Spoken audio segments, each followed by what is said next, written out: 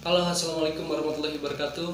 Halo teman-teman semua, kembali lagi di channel Dimas Musik. Channel tempat kita belajar dan berlatih untuk memproduksi, eh, untuk memproduksi sebuah lagu ya teman-teman. Kali ini kita akan coba bahas proses eh, kisah di balik lagu ya, kisah di balik lagu di single ketiga di album ketiga ini juga ya teman-teman. Eh, seperti apa sih sebetulnya kisahnya terus eh, lirik di balik lagu ini tuh seperti apa dan juga lagu ini dibuat tahun berapa ya teman-teman? Dan juga apa lagu ini berdasarkan pengalaman pribadi kah atau bukan? Nanti akan kita bahas langsung di video ini ya. Oke tanpa basa-basi lagi dan biar nggak panjang lebar lagi langsung kita bahas aja ya teman-teman. Lagu ini dibuat tahun 2013 ya. Ini berarti mungkin bersamaan hampir bareng dengan lagu yang single sebelumnya single sahabat sejati itu cuma mungkin berbeda bulan. Jadi lagu yang ini lebih eh, lama. Jadi lagu yang sahabat sejati itu lebih dulu dibuat dibanding lagu yang ini mungkin sekitar bulan Agustus ke bulan eh, September mungkin ya teman-teman lagu ini dibuat. Seingat saya itu tahun 2013 untuk eh, seberapa persen lagu ini sesuai dengan pengalaman saya mungkin. Mungkin hanya 20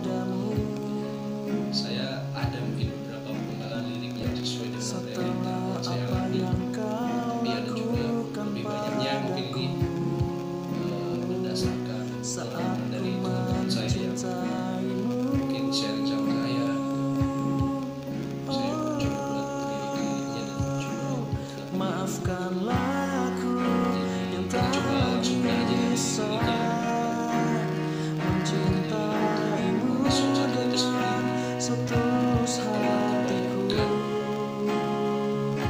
Dan biarkan aku menjalani semua tanpa hadirmu kasih di sisiku lagi.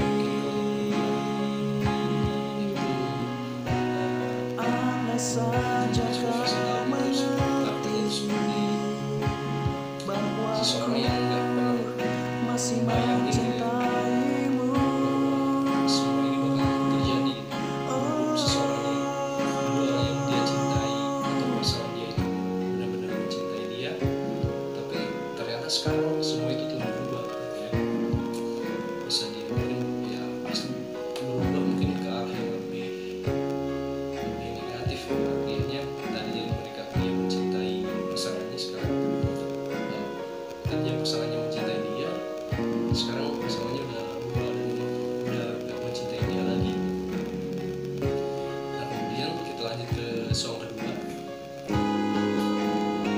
Maafkanlah aku yang tak lagi bisa mencintaimu dengan setulus hatiku dan biarkan aku menjalani semua tanpa hadirmu kasih di sisiku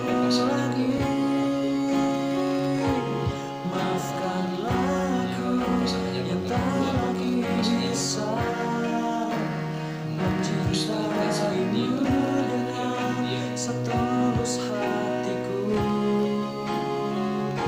Dan biarkan aku menjalani semua tanpa hadirmu kasih di sisiku lagi.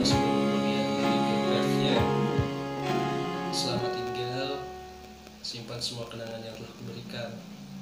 Dia itu itu kesannya kayak ya udah kita nggak bisa bareng tapi kenangan yang udah kita jalani bersama ini jangan sampai dilupakan ibaratnya. Mungkin seperti itu ya teman-teman. Permintaan dari pihak eh, orang pertamanya ini bilang seperti itu ke pasangannya. Selamat tinggal simpan semua kenangan yang telah kuberikan. Sungguh ku cinta kamu sepenuh hatiku. Jadi sebetulnya mungkin orang pertama ini masih sayang itu masih punya perasaan ke pasangannya ini yang yang mengkhianati dia gitu. Kudoakan semoga kau bahagia. Ini lirik berikutnya ya teman-teman. Kudoakan semoga kau bahagia bersama dirinya. Biar ku yang mengalah asal kau bahagia. Gitu. jadi ini juga uh, dari pihak orang pertama ini dia merasa uh, ya udahlah saya cuma bisa ngedoain karena cinta nggak bisa dipaksain kan gitu ya jadi ya kamu mau sama dia ya lanjutkan. Semoga kamu bahagia gitu kan. Biar aku yang mengalah gitu. biar orang pertama ini mengalah yang memaksakan memaksakan kehendak. Asalkan si pasangannya ini bisa bahagia gitu. Dan, dan ini uh, bagian closingnya cinta tak harus memiliki gitu. Aku bahagia jika kau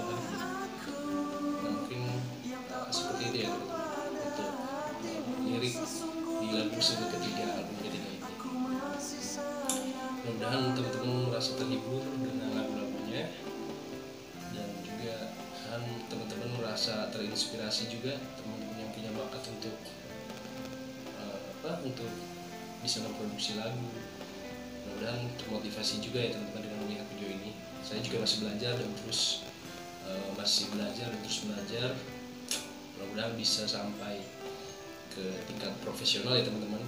Amin ya rabbal alamin yang penting walaupun belum sampai ke tingkat profesional penting kita melakukan apa yang kita sukai ya apa yang menjadi hobi apa yang menjadi passion kita coba kita jalankan. Oke teman-teman mungkin seperti itu untuk kisah di balik lagu ini. Uh, terima kasih banyak buat teman-teman udah nonton. Mudah-mudahan teman-teman dapat hal positif dari video ini mudah-mudahan teman-teman juga dapat manfaat dari channel ini ya teman-teman. Oke saya Rizky Purnomo undur diri wassalamualaikum warahmatullahi wabarakatuh